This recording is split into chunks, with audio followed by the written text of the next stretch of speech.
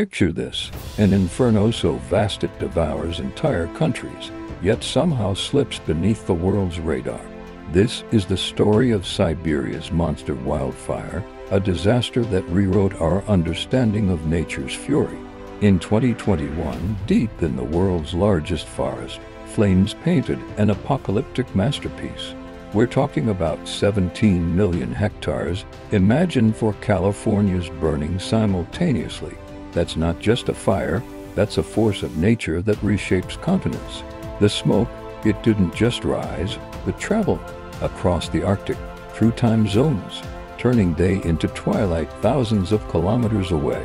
Ancient trees that had stood watch since medieval times vanished in mere hours, their centuries of history reduced to a Hessian moments. But here's the twist, this catastrophe burned in silence, while social media buzzed with celebrity gossip. One of Earth's lungs was quietly choking.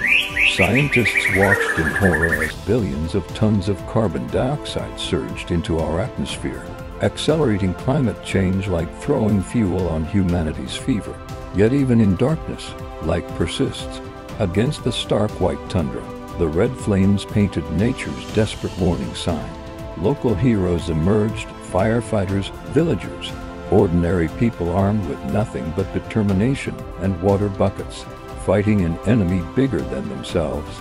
And now, from the ashes, life stirs again. Because that's the thing about fire, destroys, but it also renews. In Siberia's scorched earth, we find both warning and hope, a reminder that even after the darkest smoke clears, there's always a chance for rebirth.